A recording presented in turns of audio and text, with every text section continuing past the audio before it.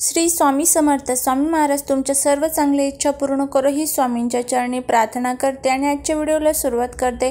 पण त्या अगोदर चॅनलवरती नवीन असाल तर सबस्क्राईब करा आणि शेजारील बेल आयकॉनलाही प्रेस करा म्हणजे माझ्या सर्व नवीन व्हिडिओंचं नोटिफिकेशन तुम्हाला मिळेल आणि तुम्ही एक पण व्हिडिओ मिस करणार नाही. उद्या आहे भाद्रपद महिन्यातील दुसरा शनिवार. शनिवारी आपण शनिदेवांची सेवा करत असतो. आपल्या कुंडलीमध्ये शनी राहू केतू जे काही आपल्याला त्रास देत असतात त्यांच्या त्रासातून मुक्तता मिळवण्यासाठी शनिवार हा दिवस अत्यंत महत्त्वाचा असतो. त्याचप्रकारे आपल्या अवतीभोवती थोडेफार पितृदोष असतात. प्रत्येकाच्याच घरामध्ये थोडेफार पितृदोष असतात. आणि हे जे पितृदोष असतात त्यामुळे आपल्याला अनेक कामांमध्ये अडचणी येतात. आपल्या घरामध्ये अनेक अडचणींना आपण सामोरे जात असतो. त्यामध्ये घरामध्ये सतत भांडण वादविवाद कटकट चालू असते.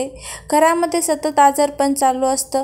घरामध्ये सतत काही ना काही अडचणी येत असतात. काही ना काही दोष लागल्याचा आपल्याला भास होत असतो. त्याचबरोबर घरामध्ये आपल्याला काम करूशी वाटत नाही सारखं झोपून राहावंशी वाटतं किंवा आपल्याला कोणत्याच कामामध्ये यशाची प्राप्तीही होत नसते. तर अशा अनेक अडचणींना आपण सामोरे जात असतो आणि ह्या ज्या अडचणी असतात तर ह्या अडचणींचा परिणाम पूर्णपणे आपल्या स्वभावावरती पडतो. आपल्या घरातील व्यक्तींवरती पडतो. तर पितृदोष जर घरामध्ये असेल तर आपल्याला अनेक अडचणी तर असतातच. पण त्याचबरोबर बघा उद्या जर आपण शनिवार आहे उद्या पितृदोष निवारण्यासाठी हे जे काही उपाय असतात हे जर केले तर आपला जो काही पितृदोष असतो तर तो खूप पटकन दूर होण्यासाठी मदत होते.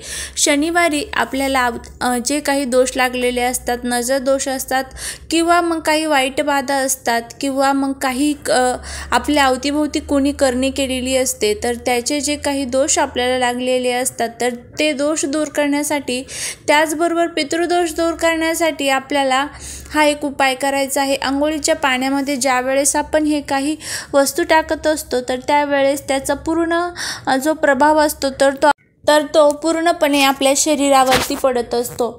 आपल्याला जर काही दोष लागलेले असते आणि आपण जर एखाद्या ब्राह्मणाकडे गेलो किंवा एखाद्या कोणत्या व्यक्तीकडे गेलो तर तो आपल्याला सांगत असतो की पवित्र नद्यांमध्ये स्नान करा तुमचे हे जे काही दोष असतील तर ते दोष दूर होतील. पण आता बघा प्रत्येकाच्या सावतीभोवती नद्या असतात असं अजिबात नाही. प्रत्येकाच्याच घराच्या शेजारी नद्या असेल असं अजिबात नसतं. आणि ज्यावेळेस ह्या काही विशिष्ट तिथी असतात आणि ह्या तिथींना ज्यावेळेस आपण आंघोळीच्या पाण्यामध्ये ह्या वस्तू टाकत असतो ना तर त्यावेळेस जे काही दोष आपल्या अवतीभोवती असतात जे काही संकट आपल्या अवतीभोवती असतात ज्या काही अडचणी आपल्या अवतीभोवती असतात तर त्या दूर करण्यासाठी मदत होते. पितृदोष दूर होणे खूप गरजेचं असतं आणि ज्यावेळेस आपला पितृदोष दूर होतो त्यावेळेसच आपल्याला प्र प्रत्येक कामामध्ये यशाची प्राप्तीही होत असते. तर आता उद्या आपल्याला आंघोळीच्या पाण्यामध्ये काय टाकायचं आहे? तर उद्या आपल्याला आंघोळीच्या पाण्यामध्ये अकरा काळे तीळ टाकायचे आहेत. मोजून अकरा काळे तीळ घ्यायचे आहेत. काळे तीळ घेतल्यानंतर आपल्याला प्रथम पहिला काळे तीळ घ्यायचा आहे आणि त्यानंतर ओम पितृदेवाय नमः म्हणतो आंघोळीच्या पाण्यामध्ये टाकायचं आहे. असं आपल्याला अकरा वेळेस करायचं आहे. तुम्हाला माहिती आहे का? गरुड पुराणामध्ये सांगितलेलं आहे की ज्या वेळेस आपण आंघोळ करत असतो तर त्यावेळेस आपल्या अवतीभोवती आपले जे पूर्वज असतात आपले जे पित्र असतात तर ते पाणी पित असतात. आणि त्यावेळेस जर आपण आंघोळीच्या पाण्यामध्ये शनिवारी अशी हे काळे तीळ टाकले तर यांचं समर्पण हे त्यांना मिळत असतं. आणि त्यामुळेच आपल्याला हा एक उपाय करायचा आहे. आणि ज्यावेळेस आपण हा उपाय करू ना आता बघा तुम्ही एकच शनिवार हा उपाय कराल आणि सोडून द्याल आणि म्हणाल की ताई आम्हाला तर काही फरकच पडत नाही. असं अजिबात करायचं नाही. तुम्ही प्रत्येक शनिवारी हा उपाय करून तर बघा प्रत्येक मी अशा ज्या काही विशिष्ट तिथी असतात ना तर त्या तिथींना तुम्हाला नेहमी सांगत असते की आंघोळीच्या पाण्यामध्ये ह्या वस्तू टाका त्या वस्तू टाका. तुम्ही त्या वस्तू टाकत तर चला मग तुम्हाला अनुभव येतो की नाही ते मला नक्की तुम्ही कमेंटद्वारे नक्की सांगा. त्या अडचणी तुमच्या ज्या काही आहेत तर त्या अडचणी दूर होताना तुम्हाला दिसून येतील.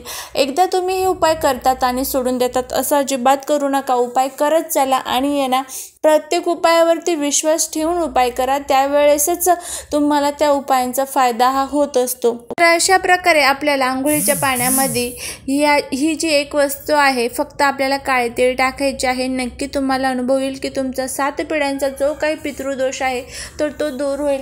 आता बघा भाद्रपद महिन्यामध्ये जेवढे शनिवार येतील तर त्या प्रत्येक शनिवारी आपल्याला आंघोळीच्या पाण्यामध्ये काळे तेल टाकायचे आहे.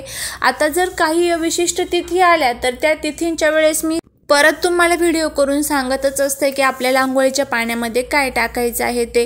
तर अशा प्रकारे हा उपाय करा. प्रत्येक शनिवारी आंघोळीच्या पाण्यामध्ये हे काळे तीळ असतात तर ते टाकून ठेव. आंघोळ करत चला आणि आपल्याला आपल्या पितरांसाठी हे अशा प्रकारे समर्पण करायचं आहे.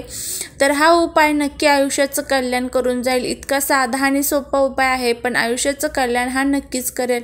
झालेली सेवा महाराजांच्या चरणी अर्पण करते. श्री स्वामी समर्थ.